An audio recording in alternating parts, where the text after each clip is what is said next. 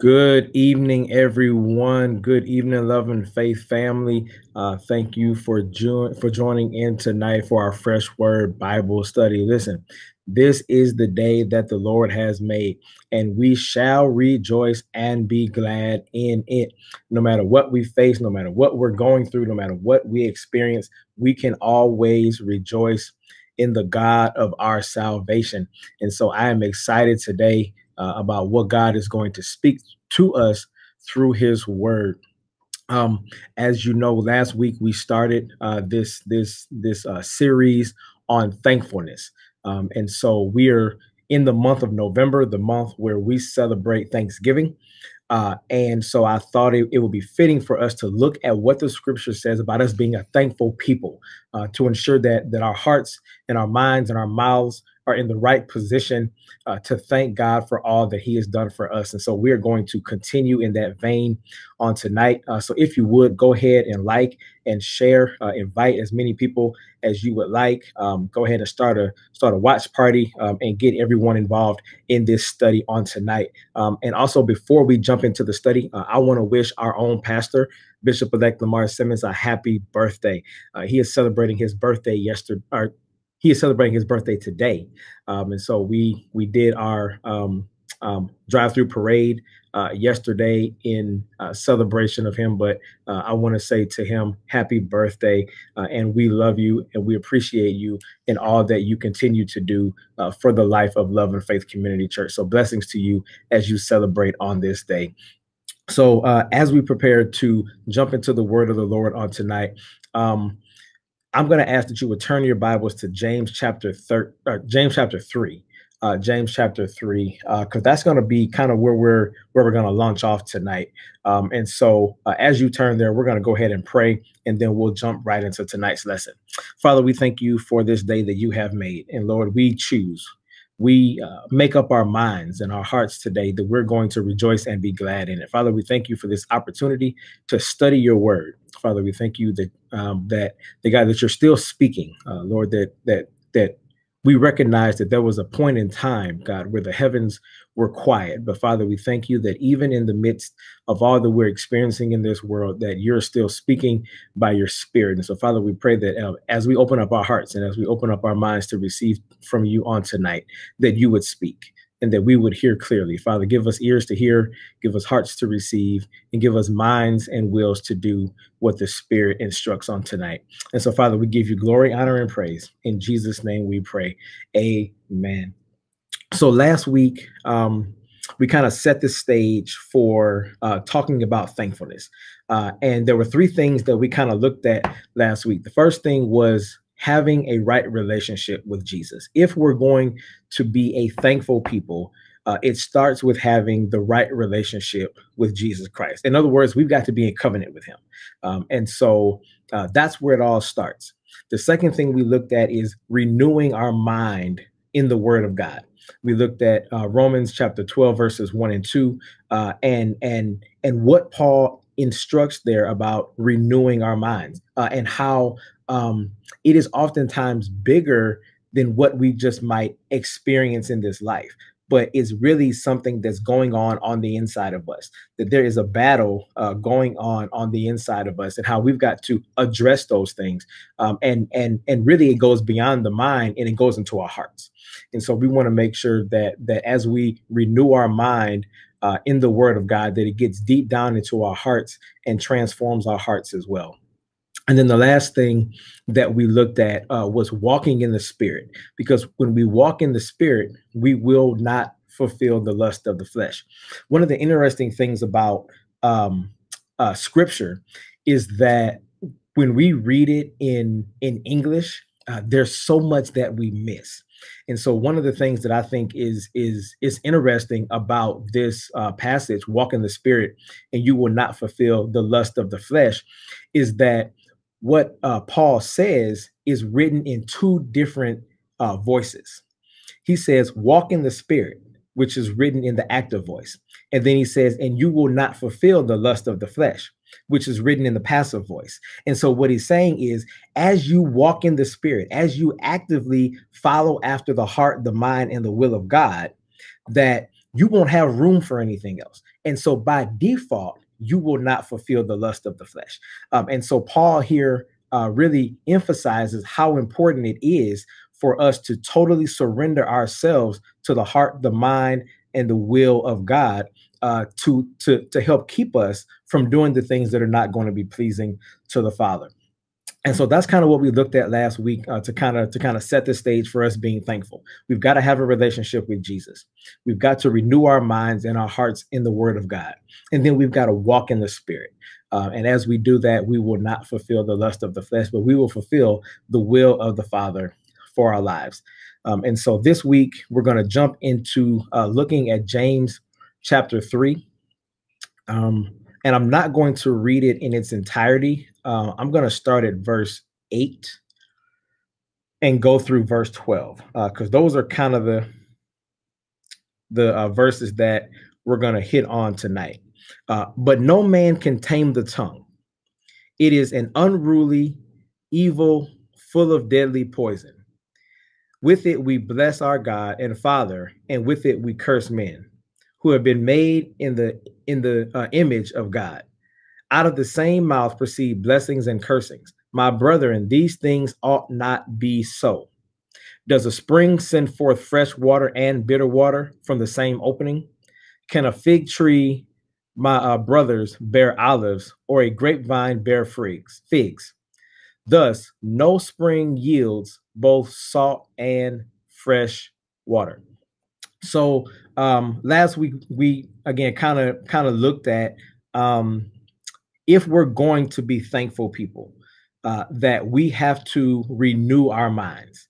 We have to renew our minds. Um, and what and what Paul says here is is that uh, it's not just um, putting things into our mind, but that that we are literally transformed. Uh, and that word transform, we kind of looked at it last week, is the word that we get our word um, um, English word metamorphosis from. And so uh, what it what it what it talks about is uh, um, moving from this state of what you were into something totally different, never returning to what you were. In other words, um, look at the caterpillar. The caterpillar starts off as that, a caterpillar, and then it transforms or it metamorphoses into a butterfly and that butterfly will never go back to being a uh, caterpillar again. An acorn has everything it needs to become an oak tree. But once that acorn takes root, once that acorn begins to grow, it will never go back into being an acorn. It will only move forward in becoming a great and mighty oak tree. Um, and so uh, if we're going to be thankful people, then then we have to metamorphosize. Um, that that that that there has to be some some some outward evidence showing in what has taken place on the inside of us. Um, John Bevere, in his book Killing Kryptonite, says this repentance means changing our mind so deeply that it changes our personality from the core of our being.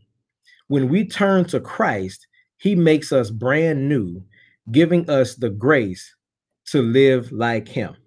Let me read that again. Repentance means changing our mind so deeply that it changes our personality from the core of our being. When we turn to Christ, he makes us brand new, giving us the grace to live like him. So look at verse uh, 12 in James chapter 3. James asks this question Can a fig tree, my brethren, bear olives? Or can a grapevine bear figs? Thus, no spring yields both salt and fresh water.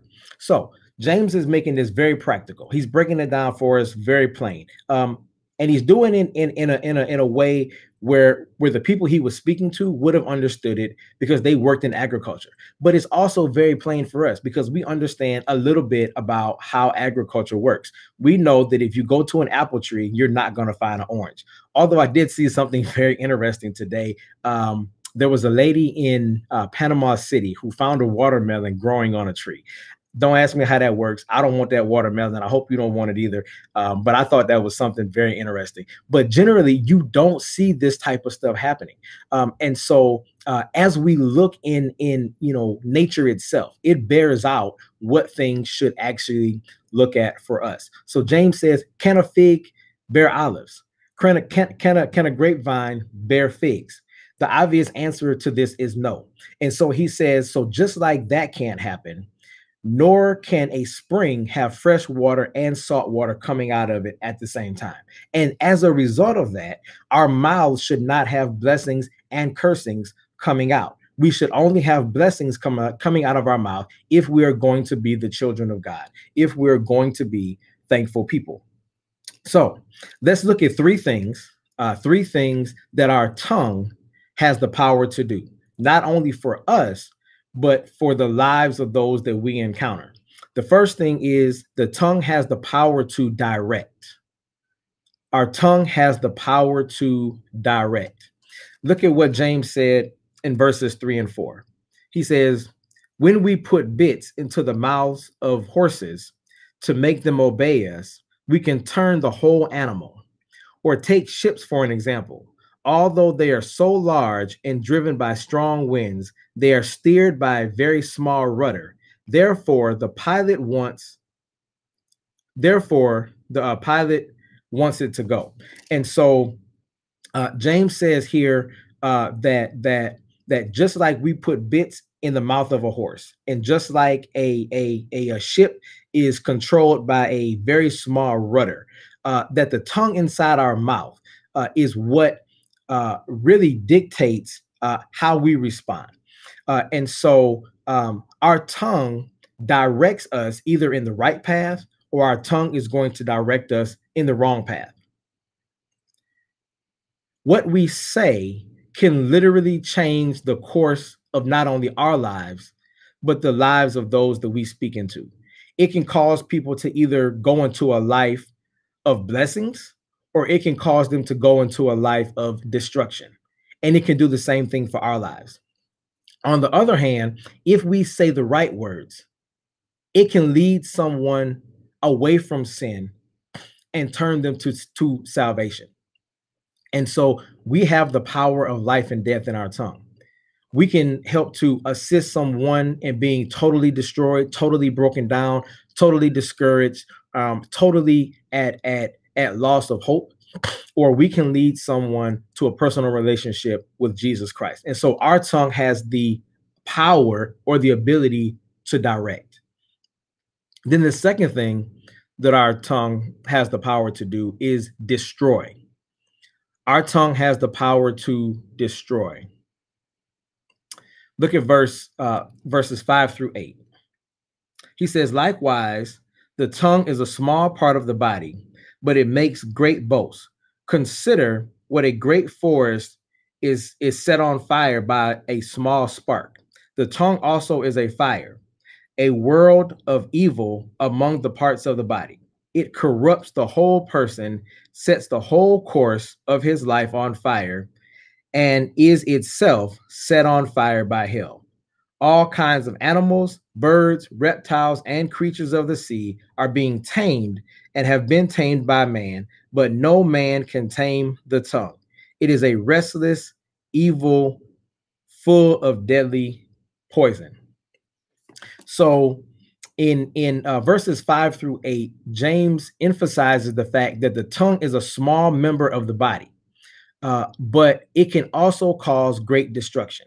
That while it is still small, it it it it uh, packs a major punch a teeny spark can set a whole fire forest on fire. Think about the the you know fires that we see generally every year in California. Is usually someone left a campfire burning. It's usually someone took a cigarette butt and left it on the ground. It's usually something very small, but it but it causes so much damage. It causes thousands and thousands of acres of uh, forest and homes and animals and lives to be destroyed. And so uh, our tongues are the same way. An evil tongue can spread like poison. Uh, but at the same time, our tongues can also be very medicinal. Um, in other words, our tongues can heal and also uh, hurt. And so, again, it's a matter of how we choose to use our tongues. Our tongues can bring healing, or our tongues can bring hurt and harm. Then, the last thing uh, that our tongues have the power to do our tongues have the power to delight. Our tongues have the power to delight. Look at what James says in verses 9 through 12. With the tongue we praise our Lord and Father, and with it we curse men who have been made in God's likeness. Out of the same mouth comes praises and cursings. My my brothers, this should not be. Can both fresh water and salt water come from the same spring? My brothers, can a fig tree bear olives or a grapevine bear figs? Neither can a salt spring produce fresh water. So here James gives the um, illustration of a a fountain or a spring bringing forth water, and he says that this that this uh, spring cannot bring forth salt water and fresh water out of the same mouth. And so, just like a spring cannot bring forth fresh water and salt water out of the same mouth or out of the same source, the tongue cannot speak blessings and cursings at the same time. A tree cannot bear two kinds of fruit. Jesus talked about it in uh, Matthew 7. He says, You will know them by the fruit that they bear. A good tree cannot bear bad fruit, nor can a bad tree bear good fruit. So here's the question. Here's the question What are you allowing to come out of your mouth? Because what you allow to come out of your mouth is a clear indication of what's really in your heart. So the question that that that we all have to ask ourselves, and we should ask ourselves this daily, is what is really in our hearts. Um, I don't want to focus too much on on what may be in your heart, um, but I want to look at at where our hearts should be, on what should be in our hearts, and what should be coming out of our mouths, and what should be coming out of our hearts, hearts, and what should be coming out of our mouths is thankfulness. So this is November. This is the month of Thanksgiving. This is the time of year that, if at no other time in the 365 days on the calendar, that people, at least in America, because we're the only ones that that um, celebrate Thanksgiving, but if if if at no other time, we should be a thankful people. Uh, we should be uh, grateful um, for for life and for health and for strength um, just because this this you know season um, causes us to think and to meditate on that. Um, we have a full holiday uh, that is that is dedicated to that, uh, to to being thankful to God for His manifold blessings upon us. But the truth of the matter is uh, that we, as followers of Christ, have much more to be thankful for outside of one month, outside of two days. Uh, every day should be a day of thanksgiving. Every day should be a day that we celebrate uh, what God has done for us. Um, every day that we open up our eyes is an opportunity for us to express to God just how thankful we are for his blessings and for allowing us to live a little while longer. So um, let's kind of look at the word thanksgiving or, or uh, thankfulness. To us, the word thanksgiving uh, or the word uh, thank you uh, or thanks um, is an expression of of gratitude. Um, we are taught to use this word or this this this phrase thank you thanks um, from from from from really the very beginning once once a child begins to uh, speak that child is taught to say please and thank you uh, and so as we grow, as we mature, that word uh, often becomes second nature to us.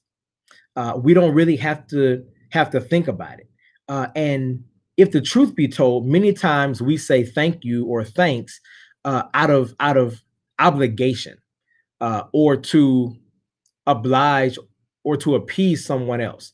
And, and, so it's not something that we, you know, genuinely uh, say or mean. And it's not that we that we say it with with with any um, uh, sarcasm, with any disrespect, but it just rolls off the tongue. It's nothing that we really give much much thought to.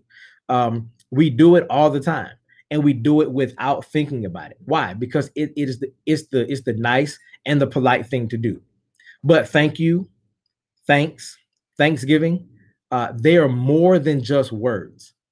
Uh, it's not something that we should just say in passing It's not something that that we should just say to try to appease other people. Uh, it's actually something that we are commanded to do in the Word of God. Paul says this in First Thessalonians chapter 5 verse 18. And this is one of my favorite verses. This is what Paul says. In everything give thanks, for this is the will of God in Christ Jesus concerning you. So, it is a commandment in the word of God that we are to be a thankful people. He says, In everything, give thanks, for this is the will of God. Uh, this is the um, um, unquestionable, authoritative will and purpose of God that we be a thankful people in Christ Jesus. And so we are commanded to give thanks uh, and not just for the things that we want, not just for the things that we need, um, not just for the things that that you know make us happy, that make us feel good. But Paul says here that we are to give thanks for everything. That means the good, the bad, and the ugly. We give thanks for everything. Why? Because Paul said this in Romans 8 and 28. He says, And we know that God causes all things to work together for the good of them who love him and are called according to his purpose. So, you know what? Even if it doesn't feel good, even if it doesn't look good, even if it's something that we don't like or appreciate, God is still going to cause it to work together for our good. And because we know God's working it out for our good, we can still be thankful knowing that God is going to bring us out we can still be thankful knowing that God is going to use it to execute his purpose in our lives. Uh, and so this is really enough uh, for us to get happy about in and of itself. Because if we look at at at, at uh, Romans chapter 8 and verse 28 in its context, this is what Paul is really saying. Let's look at at at at, at verse 18. Romans 8 and verse 18.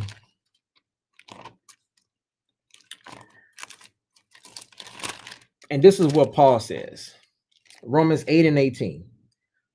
I consider that our present sufferings are not worthy to be compared to the glory that will be revealed in us.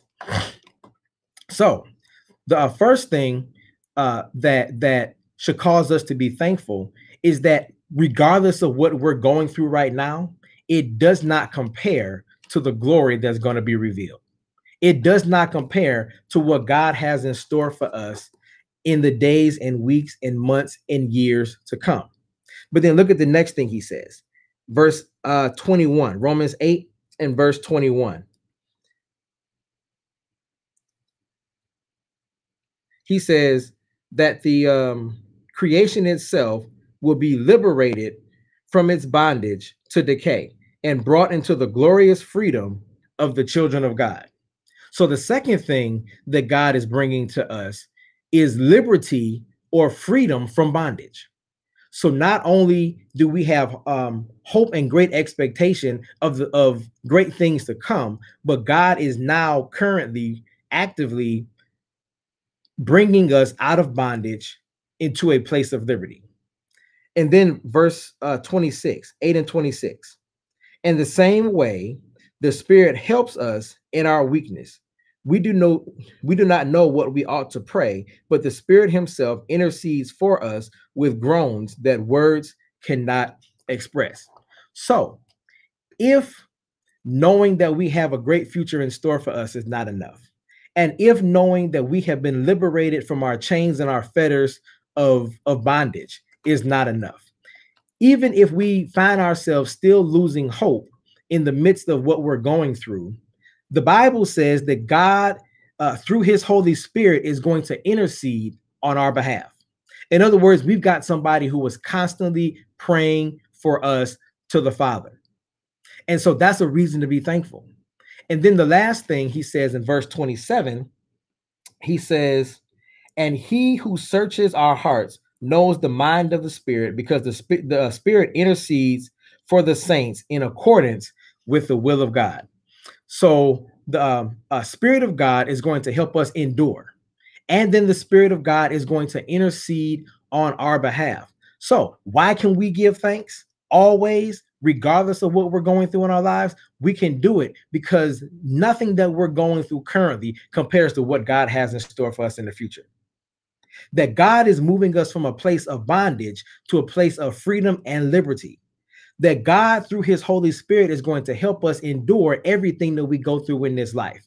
And the Spirit of God is going to intercede on our behalf to help us to get through what it is that we're going through in this life. So, this is a perfect opportunity for us to be thankful because God is already working all things out for the good of them who love Him and are called according to his purpose. We've got good reason to rejoice. We've got good reason to be happy. We've got good reason to be thankful because God is fighting on our behalf. God is working things out in our favor. God is turning things around for our good. Listen, somebody ought to shout hallelujah to the Lamb of God because God is working things out for our good and we have a reason to shout. We have a reason to praise him. We have a reason to exalt and to magnify his name. This is the love of god.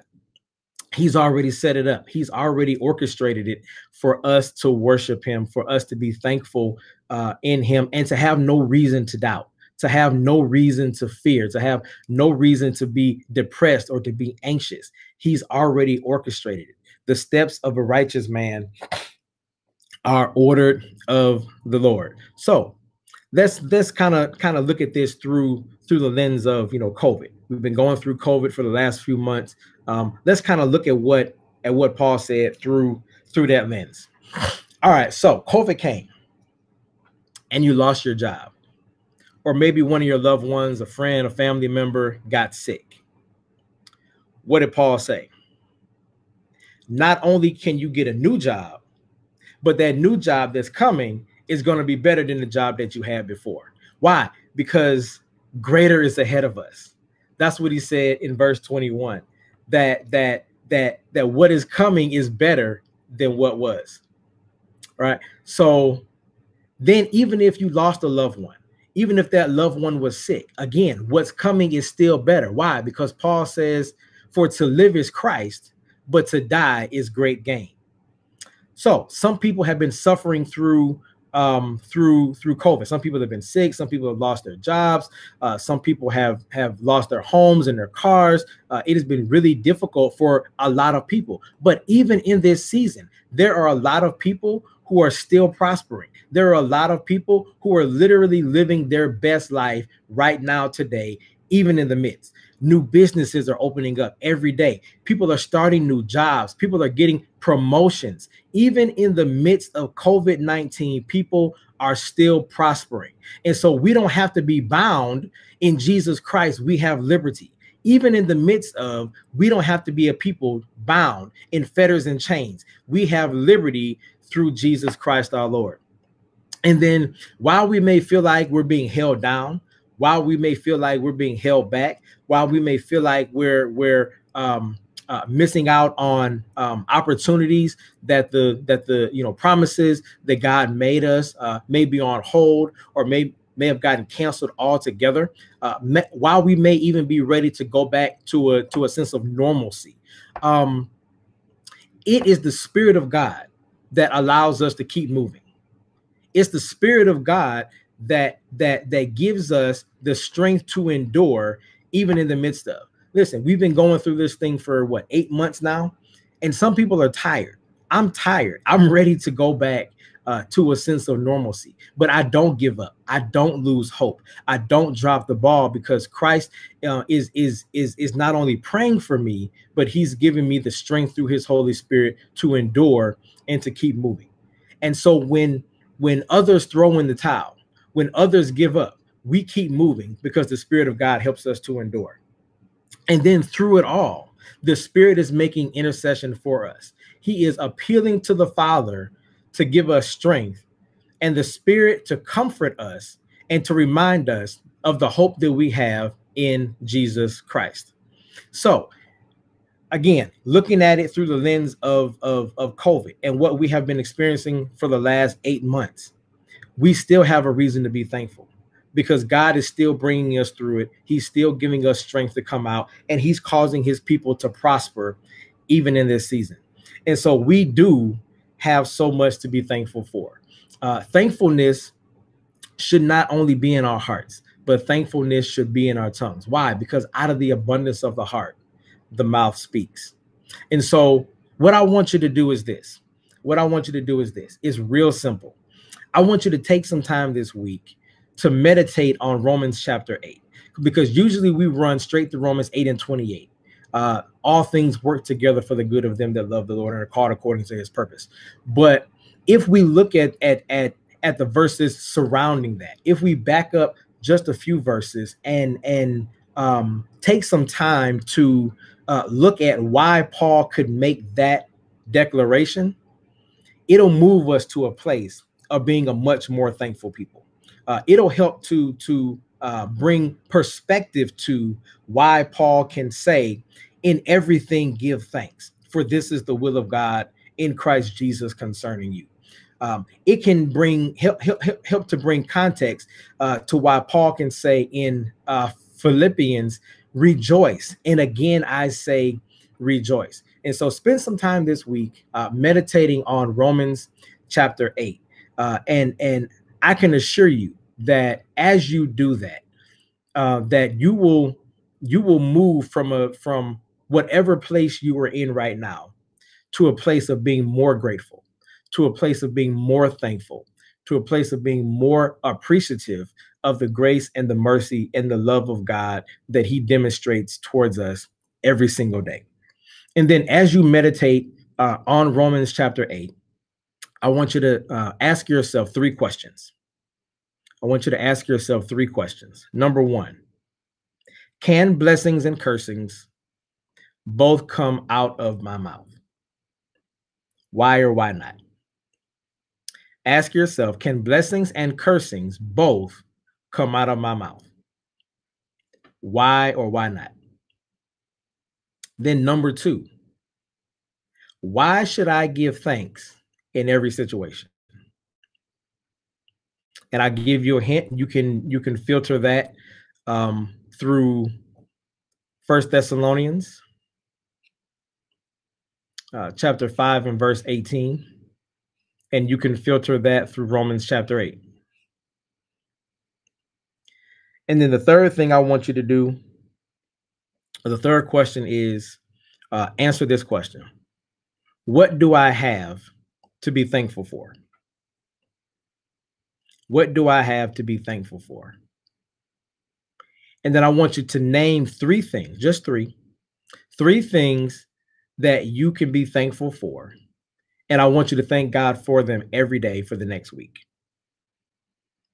So, number one, can blessings and cursings both come out of the same mouth? Number two, why should I give thanks in every situation? And number three, what do I have to be thankful for? And this three things, and then thank God for those three things every day for the next week. And so as we uh, go through this next week, and and and as we quickly approach Thanksgiving Day, um, I want us to be strengthened in our faith, uh, knowing that that God has already orchestrated our entire lives. Uh, that that even in the midst of the worst situation that you could think of or imagine, God is still going to use it for his glory and for our good.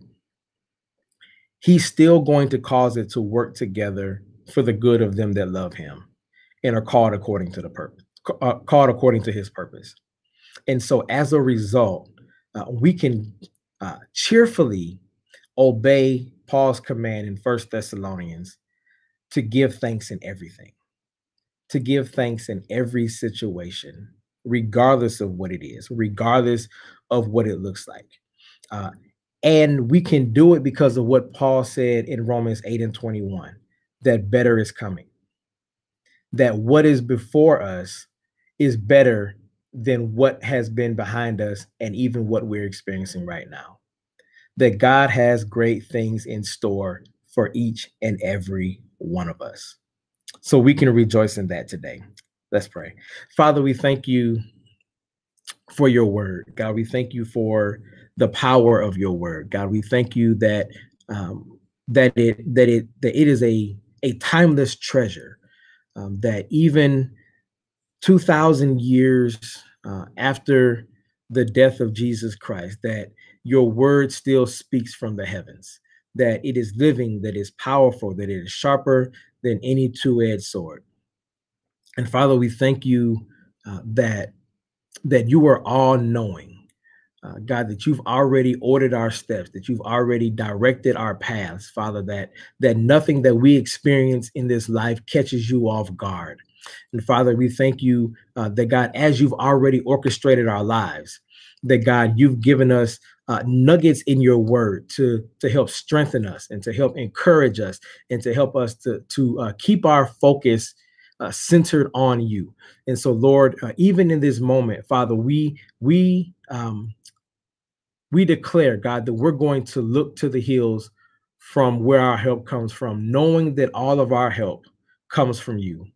Father, help us to keep our eyes stayed on you. Father, help us uh, not to be like Peter, looking away and and and getting caught up in the things that are going on around us. But Father, help us uh, to keep our eyes fixed and stayed on you, Father. Even as um, um, overseer gathers taught taught us yesterday uh, that that that Peter was literally within arm's reach of his blessings.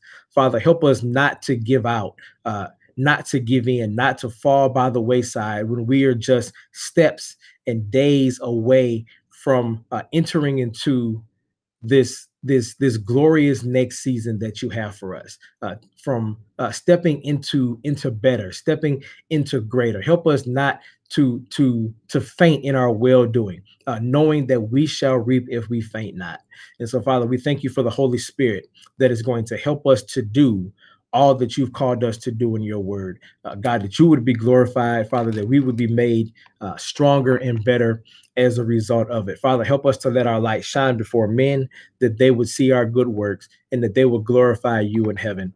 Uh, Father, we pray that, that that even as we live this life, God, that those who do not know you as Savior and Lord, that they would see our lives and that they would ask the question, What must I do to be saved? Because they see the hope and the joy and the peace that exudes uh, from the heart and the mouths of your people. And so, Father, we give you glory, honor, and praise. In Jesus' name we pray. Amen. Uh, so, listen, we we have so much to be thankful for. Um, not not just during the month of November, but we have something something to be thankful for every single day that God opens up our eyes and that God gives breath uh, to our lungs. I heard something years ago. Um, I, I don't know who um, coined the phrase, um, but but it says, as long as there's breath in your body, there's hope. And as long as we've got hope, we've got something to be thankful for. So as we um, close out tonight, as we prepare to uh, transition out tonight, uh, we want to have an an opportunity to sow into the kingdom of God, um, to uh, show God our gratitude for his goodness and his grace and his mercy toward us. Uh, we don't give grudgingly, we don't give out of necessity, but God loves a cheerful giver. Um, and so we give um, out of obedience to the word of God, and we give knowing uh, that God is going to bless us for our faithfulness towards him. And so we're asking that those of you all uh, who are tithing today, that you would be faithful in your tithe. Uh, those of, of you all who are giving on today, that you would find yourself in one of our four giving categories uh, $100, $50, $25, or $5 a um, high five. Um, and then also do not forget, uh, as we're in the month of um, Thanksgiving, that uh, we are wrapping up our uh, Thanksgiving drive efforts. Um, and so we're asking that all members would join us in giving a $20 seed uh, so that we can bless those families in need from Hartsfield Elementary uh, and from Elder Care Services. Uh, we're looking to, to, to, actually wrap that up this week um, so that we can go ahead and purchase those gift cards for those families and get them into their hands so that they can do uh, what they need to do to prepare for Thanksgiving. Um, so we thank you uh, already for those who have given uh, and for those who are going to give in that way on tonight. And so if you have your gifts, I'm going to do what I always do ask you to put some hearts and some smiles uh, in the comments and hold up your gifts as we pray because God loves a cheerful giver. Father, we thank you uh, for this opportunity to give. Father, we thank you that it is at your discretion that men are made great. And it is because of you that we have anything to give at all. And so, Father, we pray that you would bless us as you see fit, for you do all things well. And now I do not bless the money, but I bless the giver. And I declare and decree that blessed are you by God our Father, creator of heaven and earth. And every giver shout, Shalom shalom. Every need is met. There is nothing missing, nothing broken in Christ Jesus. Hallelujah. And so we thank God uh, again tonight for all of you who have joined us. I pray um, that you have been uh, touched by the word of God, that it, that it will find good ground in your heart, uh, and that you will meditate on it every day and every night. And so, uh, as we prepare to go tonight, let's pray and we'll be dismissed. Father, we thank you again uh, for this time to study your word. Father, we thank you for what you've spoken to us. And God, we pray that your word would find good ground in our hearts. Father, help us to be encouraged uh, in those moments where where we may want to fall, where we may want to give up. Uh, Father, remind us of your word.